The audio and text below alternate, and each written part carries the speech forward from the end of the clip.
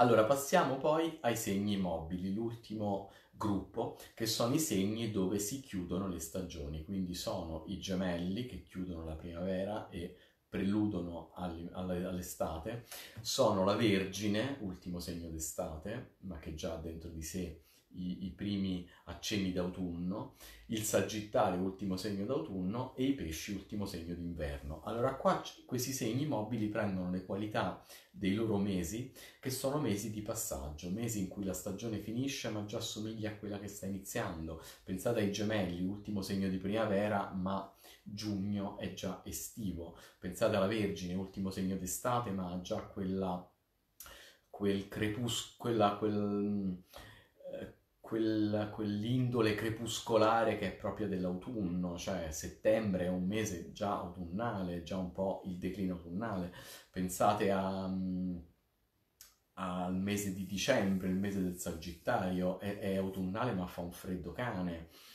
pensate ai pesci, ultimo mese d'inverno, ma contiene già il germe della primavera, quindi questi quattro segni hanno proprio la qualità della elasticità, dell'adattabilità. Sono una zona di passaggio, i cambiamenti per i segni mobili sono estremamente facili perché hanno dei confini fluidi. Quello che riesce più difficile per i segni mobili è definirsi, stabilire con certezza io sono questo e non sono altro. Io sono um, questo è mio e questo è tuo, poi semmai te lo presto, ma devo conoscere la differenza. Questo è un problema mio e questo è un problema tuo, poi ti posso aiutare, ma non posso viverlo sulla mia pelle come se fosse mio.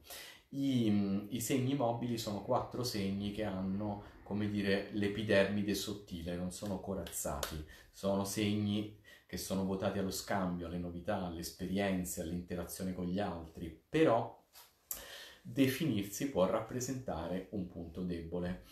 E quindi che cosa è successo? Che negli ultimi cinque anni hanno avuto prima Saturno e poi Giove in una in posizione eh, dinamica perché entrambi sono passati per il Sagittario, quindi entrambi sono passati per l'opposizione con i gemelli, per la quadratura con i pesci e per la quadratura con la Vergine. E questi, questi cinque anni sono serviti proprio per indurirli, per stabilizzarli. Pensate ad un mobiletto di Ikea, mentre lo montate, quello è elastico perché si deve assestare bene. Quando però poi è finito e tutti i pezzi sono andati al loro posto, si prende la brucola e si comincia a stringere i bulloni, perché se così non fosse, il mobiletto non avrebbe la sua tenuta statica, sarebbe, oscillerebbe. E lo stesso hanno fatto prima Saturno e poi Giove con i segni mobili. Hanno preso una bella tenaglia e hanno stretto una serie di bulloni, anche dolorosamente. L'hanno portati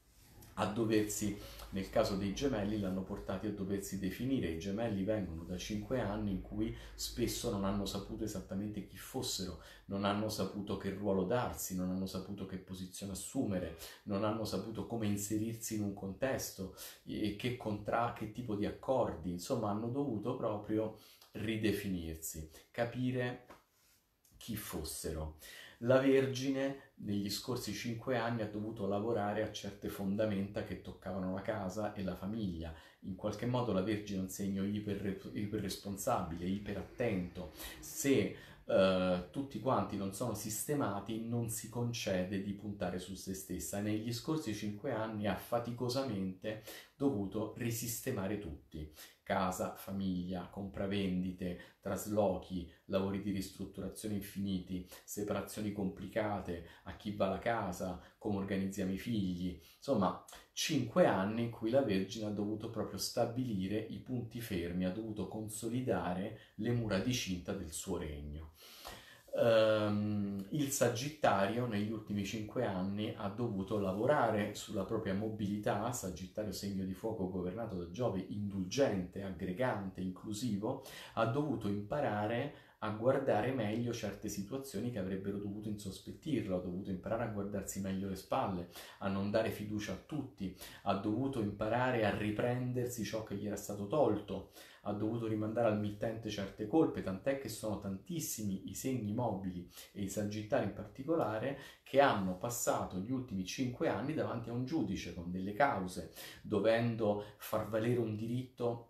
anche per le vie legali o dovendosi difendere da una certa situazione, per cui in, e lo stesso, mo, lo stesso cosa hanno fatto i pesci, che negli scorsi cinque anni hanno dovuto imparare a mettere insieme ispirazione e realismo, hanno dovuto imparare a fare i conti con la realtà, hanno imparato che ogni volta che saltavano un passaggio l'operazione sballava e il conto non tornava e quindi ogni volta che si muovevano spinti dall'illusione hanno toccato con mano la delusione. Questo riguarda i segni, i pesci che sono i grandi sognatori. Per cui segni mobili 5 anni di grandissima ristrutturazione. Sono stati smontati letteralmente un pezzo alla volta e sono stati ricostruiti in maniera più solida. Però vorrei fare un piccolo passo indietro. Uh, nel cielo dei segni mobili, ancora prima del, 2000, del 2015, che è l'anno in cui arrivano prima Saturno e poi Giove e cominciano con la brucola a stringere i bulloni, prima, nel 2012, arriva Nettuno. Ed è questo il punto a cui bisogna tornare. Il 2012 rappresenta per i segni mobili il vero, la vera scaturigine, tutto quello è, è, l'anno che innesca un processo con il quale ancora ci confrontiamo. E lo sto dicendo non solamente perché è, è lì il punto di partenza che spiega davvero quello che sta succedendo adesso. Nel 2012 che succede? Arriva Nettuno, arriva Nettuno in pesci, Nettuno è il governatore dei pesci, in questo modo entra in pesci, entra in opposizione alla Vergine, entra in quadratura al Sagittario e ai Gemelli. Nettuno è il governatore dei pesci e ha un arco di tempo lunghissimo, per cui pensate che prima del 2012 gli ultimi pesci che hanno visto Saturno, che hanno visto Nettuno in casa sono stati quelli del 1848, il famoso 48, l'anno dei, delle grandi rivoluzioni, dei grandi sacrifici, dell'uomo che si butta a capofitto nell'interesse collettivo. Insomma, Nettuno è quella spinta fortissima a cercare risposte più in alto, è quella spinta ad elevarsi oltre la materialità per cercare qualcosa di più profondo, di più alto, di più elevato. Chiaramente, proprio come il Sacro Graal che tutti cercano e nessuno trova, Nettuno crea una forte il, del, scusatemi, Nettuno crea una forte ispirazione, ma crea anche molta confusione. È come il canto delle sirene, è come il sacro Graal, per cui è chiaro che da un lato ti spinge a voler fare di più e dall'altro ti, ti porta a una certa confusione sul come fare. Questo per dire che dal 2012 i segni mobili potrebbero aver sentito una forte spinta ad elevarsi al di sopra di certe routine, a sentire che c'era di più, che ci doveva essere di più, che volevano fare di più, che certe situazioni li stavano soffocando e li hanno spinti a cercare qualcosa di diverso. Ed è un una dinamica che a me ha fatto sempre pensare, forse l'avrete già sentito, ma io lo ripeto perché comunque è ehm, profondamente evocativo. Quella di Nettuno che entra in pesci nel 2012 e che tocca pesci, gemelli, sagittario e vergine è un transito che mi fa sempre pensare a Into the Wild, quel film in cui lui, dopo la laurea, vende tutto e parte per un viaggio del quale ha bisogno, del quale ha bisogno per elevarsi da una vita che, che, si preannuncia grigia, che si preannuncia predeterminata, che si preannuncia asfittica, che lo soffoca, per cui riparte per cercare qualcosa che lo emozioni. Il, nel fare questo però poi si perde e allora questi transiti così severi di cui abbiamo parlato, queste tenaglie che hanno stretto i bulloni, servivano per i segni mobili, per i gemelli, per la Vergine, per il Sagittario e per i pesci, per rimetterli sul percorso, sulla strada di un percorso di evoluzione che stanno seguendo dal 2012, ma rimetterceli con una macchina più forte, più solida, che potesse compiere quel viaggio, che non rischiasse di finire fuori strada, affinché il loro viaggio non fosse un viaggio senza ritorno come quello del film, come dice giustamente Valentina, ma fosse un viaggio con un ritorno a casa con un elisir, perché fosse un perdersi per ritrovarsi e non un perdersi e basta, perché tutti quegli scenari che sei riuscito ad abbracciare con quel viaggio viaggio, poi dopo li porti a terra, perché tutte quelle ispirazioni poi diventino progetti concreti, perché tutto quel voler andare più in alto poi si traduca in una vita che funzioni e non solo in una situazione in cui sei disorientato. E quindi questo cielo negli ultimi, degli ultimi anni per i segni immobili si potrebbe chiamare Into the Wild con il viaggio di ritorno, con il viaggio di ritorno a casa con l'Elisir e quindi, ehm, e quindi non dovete pensare appunto Uh, la morte di Into the Wild è una trasformazione metaforica, ma poi soprattutto l'arrivo di quel Saturno così severo nel 2015 seguito poi da Giove nel 2017, ha proprio, 2018, ha proprio il senso di um, non farti smarrire la via, perdersi per ritrovarsi. Quel cielo degli ultimi cinque anni per i segni mobili ha avuto proprio la spinta di quella faro che ti porta a ritrovare la strada e che ogni volta che stai allontanandoti ti ci rimanda a suon di sberle. Ogni volta che i segni mobili negli ultimi anni hanno perso di vista il realismo, la concretezza, la regola, la definizione, hanno preso sotto gamba certe situazioni, hanno preso da Giove e Saturno una sberla, ma quella sberla serviva proprio a rimetterli sulla carreggiata e serviva proprio ad evitare che il loro viaggio fosse come quello di Into the Wild, cioè serviva a fargli trovare la via del ritorno. E quindi tutto questo per dire che cosa? Tutto questo per dire che nel 2020 i segni mobili, la Vergine e i pesci soprattutto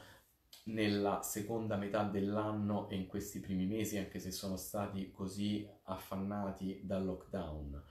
i gemelli e i pesci, scusatemi, i gemelli e il sagittario adesso, in questi prossimi quattro mesi, cominciano davvero ad avere il primo Saturno favorevole da molti anni a questa parte. La Vergine ha un cielo che le consente di tornare all'origine di un disordine con il quale si confronta sin dal 2012 e eh, riaggiustare una serie di cose, ma poi soprattutto ricoltivare, riprendere in mano alcune ambizioni personali che negli ultimi anni sono state inevitabilmente accantonate perché c'era sempre qualcuno o qualcosa che creava un problema prima e quindi c'era sempre qualcosa da sistemare prima di poterli riprendere finalmente in mano. E quindi dicevamo, questo Saturno del 2020 per sia per la Vergine e per i pesci da un lato, sia per i gemelli e per il Sagittario dall'altro, in momenti differenti, rappresenta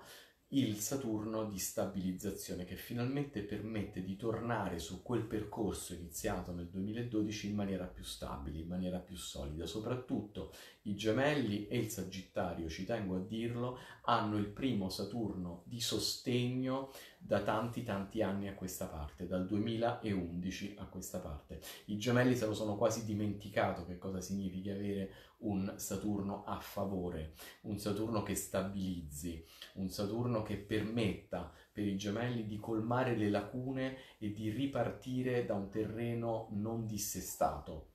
lacune economiche, lacune finanziarie, lacune di formazione, debiti formativi. I gemelli in questi prossimi mesi, ma già lo stanno facendo, stanno stuccando tutte le buche del loro terreno, a volte rottamando una cartella, risistemando certe questioni di debiti, risistemando certe eh, certi requisiti che gli mancano per fare quello che vogliono fare. Penso a chi vuole aprire un'attività, la licenza, le autorizzazioni, gli affidamenti. Stanno lavorando proprio alle basi di una nuova partenza. Questo vale per il Sagittario che si sta riprendendo la rivincita per tutto ciò che gli è stato portato via negli scorsi cinque anni e non è poco e così facendo riesce a consolidare delle basi, delle fondamenta che è dal 2012 che si sono fatte più liquide. E questo riguarda i pesci che cominciano finalmente a sentirsi più forti in una posizione che finora ha, mostrato solamente gli aspetti più delicati, gli aspetti più difficili, quelli della paura di sbagliare, quelli dell'impegno, della responsabilità, della paura di non essere all'altezza. Per cui ehm, questo è un anno in cui appunto questo Saturno consolida e fa ripartire. In particolare per la Vergine e per i pesci è un Saturno che consolida finalmente una posizione che comincia ad andare a regime in modo più stabile. Per il Sagittario e per i Gemelli è un Saturno che permette di ripartire. Quindi ovviamente in questo momento c'è poco da partire perché c'è il lockdown, ma credetemi, da qui ai primi di luglio i gemelli ed il sagittario di strada ne faranno tantissima. Se negli scorsi cinque anni sono andati avanti con il tiro col freno a mano inserito e con la zavorra, quindi a un passo gli sembrava di muoversi di mezzo passo, adesso il passo si fa molto più veloce, si fa molto più scorrevole. Um, e lo stesso riguarda i pesci e la Vergine, dove però diciamo che questo è un momento, um, questo è un momento più di passaggio e le grandi soddisfazioni arriveranno tra l'estate e l'autunno. Allora, è stata una diretta fiume anche questa, uh, io spero che, è chiaro che certe cose mi sono uscite esattamente come le volevo dire, certe altre mi sono uscite con un po' più di uh, sbavature perché poi è difficile, diciamo, tenere la concentrazione per due ore, però uh, quello che vi volevo dire più o meno è uscito. Uh, se volete altri approfondimenti, Saturno in acquario in termini generali e segno per segno è uscito anche sul sito, è uscito su Facebook, su Instagram, quindi lo potete recuperare e rileggere. Ovviamente se avete il libro oppure se non ce l'avete, quello rappresenta indubbiamente la summa eh, e quindi insomma andatevela a recuperare. Ci sono tantissime persone che mi stanno scrivendo che l'hanno appena preso da da Kindle in ebook in qualunque modo perché chiaramente adesso le spedizioni sono un po' più faticose, però ci sono moltissime persone che proprio in questi giorni mi stanno dicendo ho letto il tuo libro, non ce l'avevo, mi sta appassionando per un libro che va, un libro che viene. Oggi ho cominciato l'introduzione di Oroscopo 2021, quindi sono strafelice di tutto questo. Um, solamente riascoltandola vedrò se grosso modo ehm, ho detto tutto quello che volevo dire. Eh, diciamo, che, diciamo che questo nuovo Saturno è un Saturno in acquario, l'acquario è il segno del progresso, il segno dell'innovazione, a tutti e dodici segni li prende per mano e li porta a fare quel passo in più. Gli scorsi anni con Saturno in Capricorno sono stati rigore, responsabilità, impegno, costruzione, lentezza, adesso questo Saturno in acquario significa prendere, prendere eh, coraggio, andare più veloce, fare dei passi più decisi, fare dei passi più significativi, ma soprattutto per i segni mobili. E ecco, qui chiudo, significa uscire da cinque anni che li hanno smontati pezzo per pezzo perché sulla spia, sul cruscotto della loro macchina si era accesa una spia che diceva caos. Sono tornati all'hangar, Saturno l'ha fatti accostare, l'ha rimandati in officina, l'ha smontati un pezzo per volta, l'ha ricostruiti dolorosamente, gli ha dato una carrozzeria molto più forte, gli ha dato uno sterzo che controlla di più la direzione e gli ha dato una migliore tenuta di strada. Oggi tutti e quattro i segni mobili ritornano con questa carrozzeria più forte ad un desiderio che rincorrono dal 2012 e finalmente hanno quel veicolo giusto per rincorrerlo, per cui questo sarà un anno che consolida certe posizioni ma li rimette anche sulla strada di un desiderio che rincorrono da tempo e ce li con maggiore certezza, con maggiore sicurezza. Allora, ehm, io vado a cena sempre più tardi, mi raccomando se vi è piaciuta eh, condividetela, parlatene in giro, parlatene agli amici, agli zii, nipoti, cugini, parlatene. Se non vi è piaciuta, come diceva Gasman, fatevi gli affari vostri e non lo dite in giro. Ehm, se avete eh, voglia di approfondire un altro po', leggete l'approfondimento che c'è su, su, sul sito o meglio ancora leggete il libro. Domani non lo so, forse salto perché ho bisogno di recuperare un po' di energie e noi ripartiamo con la scuola mercoledì con la settima casa, naturalmente qui su Facebook alle 21.15 vi voglio bene, è, è, stata, per me è stata bellissima, spero di essere stato all'altezza di quello che mi riproponevo di fare, mi scuso se ho bevuto dalla bottiglia, lo so che è inelegante, però, ehm, però è, un, è, molto, molto, è, molto, molto complicato, anche perché per terra c'ho il pavimento, quindi è molto difficile. Grazie mille, mi fate, come dice Melvin, di qualcosa è cambiato, mi fate venire voglia di essere ogni giorno migliore. Vi voglio bene, grazie. Ciao Samu, ti ho visto, ti voglio bene. Ciao a tutti, grazie.